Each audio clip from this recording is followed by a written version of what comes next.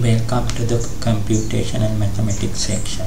Okay here in this course uh, we will use python as our programming language. Okay. So i will assume that you haven't taken any programming language class before and we'll start from very basic python and then we talk about built-in data structures. Then we talk about numpy and some basic mathematics and matplotlib also we'll talk about numerical analysis and analysis topics. Okay we'll start with fundamentals of numerical analysis. Then we'll talk about solving equations and systems of equations. Okay if time permits we will add more topics. Here we might do this in parallel. Okay uh, in the beginning we will start uh, python. After we cover python basics we will in parallel we will start to do the numerical analysis topics also okay? So uh, today we will do only python okay first we'll talk about why should you learn to write programs okay? So computers can do things that is harder to humans easily. For example if you want to read this article and understanding the meaning it's easy to you. But if you want to count the number of times the word is occurs in this article it's a tedious job okay? But to computer it's other way around okay? So uh, to computer it is hard to read this and understand the meaning of this article but it's very easy to it to count the number of times is occurs in this article okay? So for a task like to a tedious boring task like that we can write a program and give it to the computer. So computer is like a assistant that we have keep asking us what to do next. We can give boring tasks to it and save that time to us to do interesting things okay? So that is a main reason to learn programming then there are other reasons to program. It's a rewarding activity if you like start to like it. You can write programs for many reasons okay? You can write programs to make a living work as a programmer or as a data analyst or you can write a program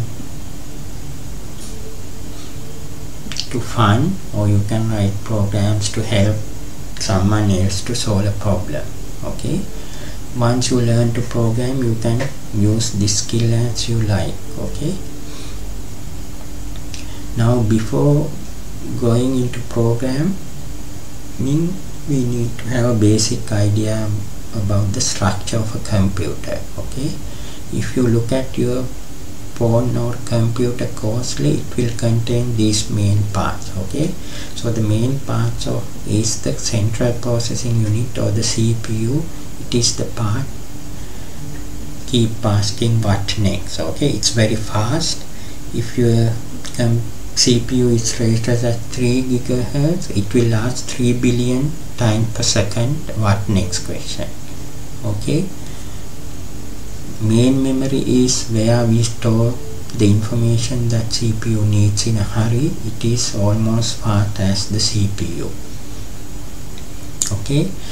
But the disadvantage of main memory we loses the information in main memory when we power off the computer then we have input output devices that we use to interact with the computers. These include keyboard mouse and monitor speakers and mic like this okay? Then we have secondary storage secondary mem memory or secondary storage. Okay this is slower than the main memory but the information on that will remain intact when we turn off the computer. Okay if we turn off the power still the information in main memory and uh, secondary memory will remain intact. Okay then nowadays computers have network connection. So network is another place where you can retrieve information but it is slower than secondary storage memory but if we don't have a network connection we don't have the network. We cannot use the network to get the data okay? Like you cannot go to the internet if you don't have the internet connection. So to write so to give task to computer you have to talk with the CPU so for that you have to learn a computer language like Python, Java, C or C++ okay? So process of this learning in a computer language is similar to learning a natural language like Sinhalese, Tamil, French, English or Japanese okay? So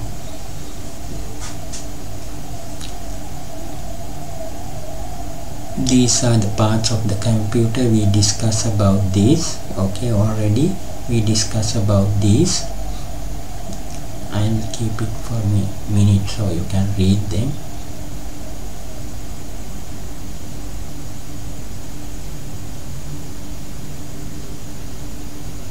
Okay this is how they look in real life we have keyboard mouse game controllers mics and like that. Then we have monitors printers headphones speakers and projectors as output device. Then the CPU will look like this. Okay. Then we have main memory secondary storage devices.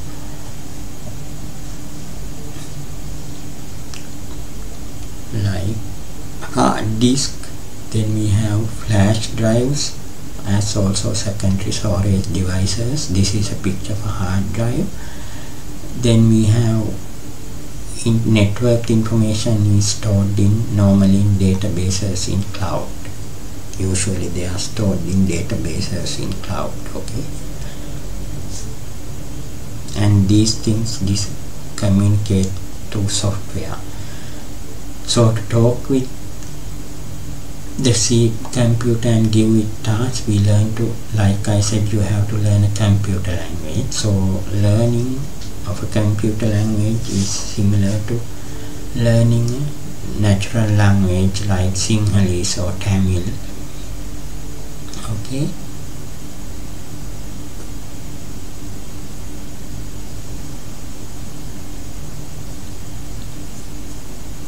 Okay so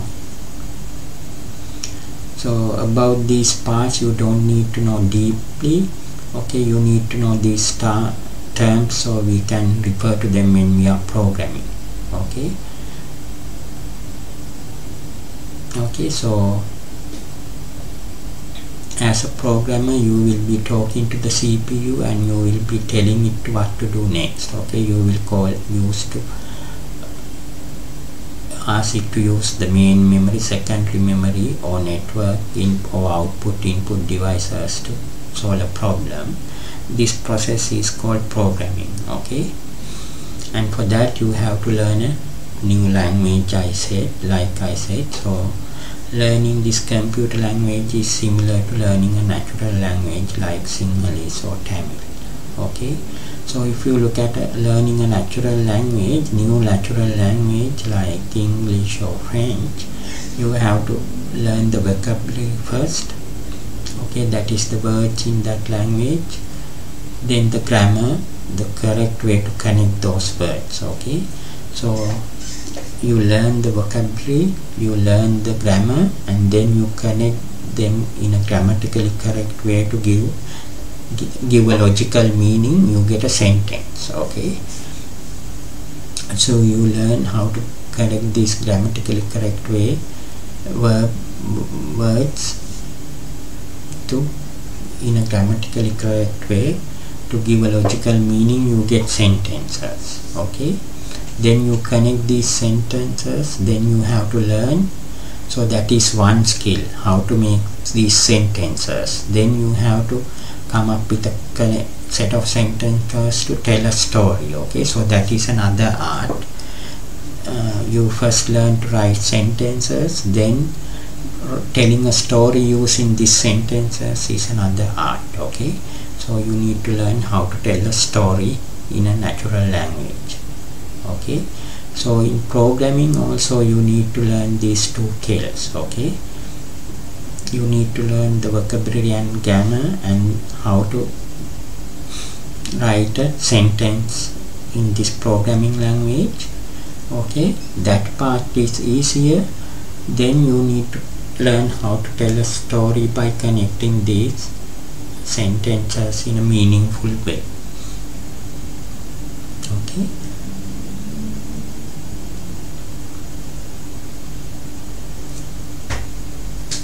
so learning how to write sentences is easier but to connect them and tell a story or write a program it will take more time to learn. Okay? So when you go learn a language like Python or one language learning the next language is easier. So normally from language to language you have a different vocabulary and grammatical rules but where you connect them and tell the skill that you need to connect them and tell the story is same. Okay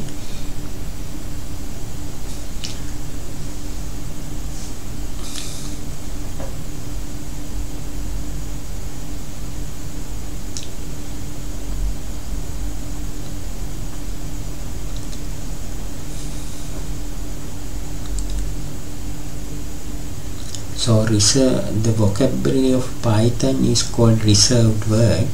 Okay these reserved word have very special meaning to python. Okay? They are called reserved words so you cannot use them in other places. Okay? They have very re reserved use and meaning. Okay? So they are called reserved word. Then we have syntax. Okay? We'll syntax tell you the way to correct these reserved words in a correct correct way to connect these reserved words to get a coding line. Okay?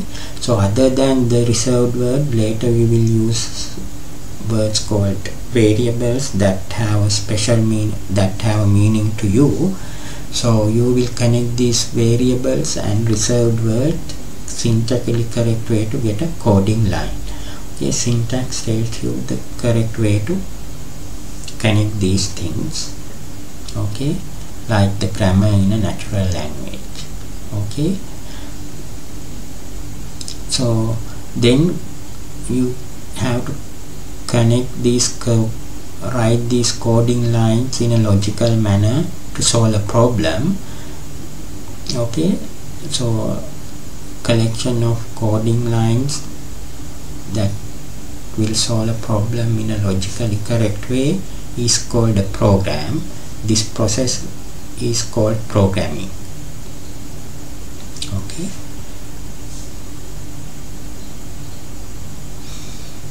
Then unlike human language python vocabulary is very small. Okay we call these reserved words. They have a very special meaning to python. When we python see this word in a python program they have one and only one meaning. Okay?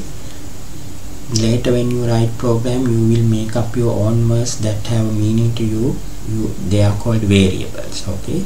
We will learn about these variables later. So these are the reserved word for python. You don't have to memorize them now we will learn about them one by one. Okay? So next thing is to show how to communicate with python and how to install